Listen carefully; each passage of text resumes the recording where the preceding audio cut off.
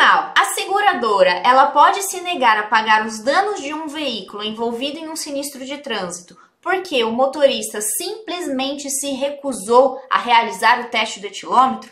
Esse é o assunto do meu vídeo de hoje. E para quem não me conhece, meu nome é Erika Avalone. Eu sou advogada e professora especialista em direito de trânsito. E já vou aproveitar aqui a oportunidade para te convidar para se inscrever aqui no meu canal do YouTube. Tem muito conteúdo toda semana para você que é motorista e para você que atua com o direito de trânsito. Então já se inscreve aí e bora para o nosso conteúdo.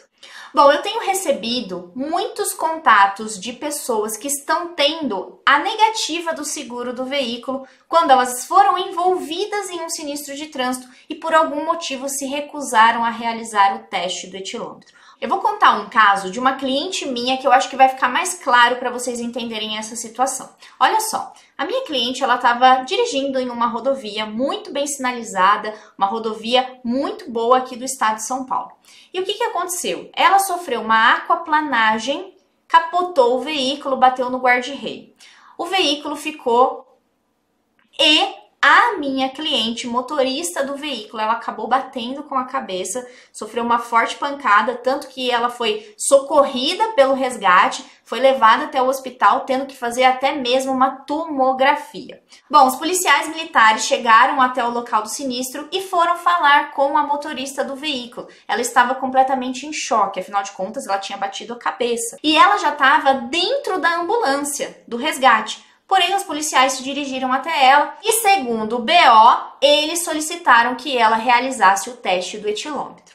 E ela se recusou. Depois que passou todo o trauma, depois que ela foi hospitalizada, fez todos os exames, ela deu então entrada ao pagamento do sinistro do veículo dela, porque ele ficou bem estragado. Porém, para sua surpresa, ela recebeu uma cartinha em que a seguradora estava se negando a pagar o seguro dela por conta da seguinte situação. Olha na tela. Então a cartinha falava: perda do direito. Além dos casos previstos em lei em que haverá perda do direito à indenização, a seguradora isenta-se de qualquer obrigação se o segurado, seu representante, seu corretor de seguros ou o beneficiário do veículo estiver sob a ação de álcool, drogas ou entorpecentes quando da ocorrência do sinistro, desde que a seguradora prove que está caracterizado o nexo causal. E aqui a gente precisa chamar atenção para uma seguinte situação.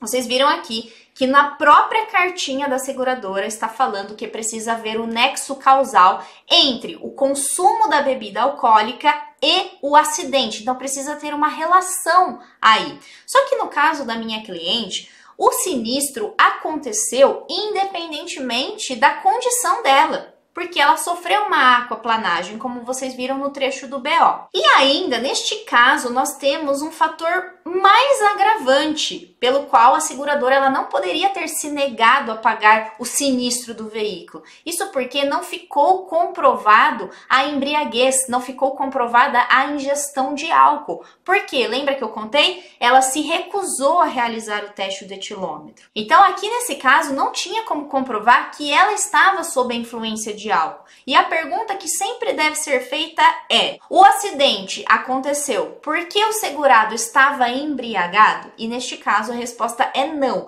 Tanto no BO quanto no auto de infração, não há nada falando que ela estava visivelmente embriagada, apenas que ela se recusou a realizar o teste do etilômetro. E se a gente olhar aqui no trecho do auto de infração, a gente vai ver que só há a recusa ao teste do etilômetro. Olha no campo de observações. Então ele lavrou aqui com o enquadramento recusa, né, o teste do etilômetro e teve ali uma observação, recusou a realizar o teste do etilômetro, número tal, apresentava fala pastosa, marca do equipamento, marca, veículo removido por guincho particular, envolvido em sinistro de trânsito. Então a gente consegue perceber aqui que pelo auto de infração o único sinal que ele colocou da suposta embriaguez é a fala pastosa. Porém, não tem qualquer relação com a embriaguez, a fala pastosa, diante do que aconteceu com a motorista. Bom, isso indica pra gente que não há nenhum indício de que ela estava efetivamente sob influência de álcool. E ainda a gente tem um plus. Toda vez que a gente vai fazer uma defesa, um recurso contra uma penalidade de multa que tem total relação aqui com a negativa do seguro, afinal de contas, ficou ali supostamente constatado que ela estava sob influência de álcool ante a recusa, né? Foi lavrado o auto de infração, foi confeccionado o boletim de ocorrência, porém, os policiais militares, eles não observaram um detalhe extremamente importante aqui. A gente tem um manual que traz de forma detalhada a exata conduta que o agente de trânsito ele deve ter na hora de lavrar um auto de infração. E na ficha correspondente ao artigo 165A do Código de Trânsito Brasileiro, que foi a suposta infração que a minha cliente cometeu, a gente tem o seguinte trecho. Dá uma olhadinha aqui. É permitida a lavratura da infração ao artigo 65A no caso de atendimento de sinistro de trânsito, desde que seja possível ao condutor realizar o teste e deliberadamente ocorreu a recusa. Pronto.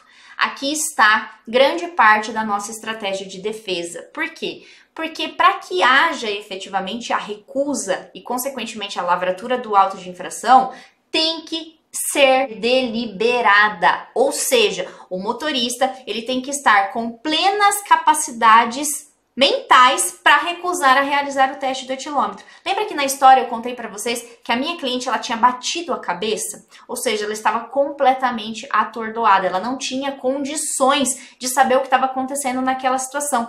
Primeiro, por conta do choque do acidente que ela sofreu. Segundo, porque ela bateu forte com a cabeça. Então, diante da negativa da seguradora, a gente tem que fazer um pedido de reanálise do pagamento do sinistro de trânsito e caso o pagamento continue sendo negado na esfera administrativa, a gente tem muitos precedentes para fazer com que a seguradora pague o sinistro judicialmente. Bom, então, diante dessa situação, a gente precisa entender duas coisas. A primeira delas é realmente dirigir sob influência de álcool, que é aquele motorista que é abordado, que realiza o teste no etilômetro e tem uma medição realizada acima de 0,04, ou seja, a partir de 0,05, aquela pessoa ela está apta para ser autuada pela infração ao artigo 165 e consequentemente constatou-se que ela estava dirigindo sob influência de álcool.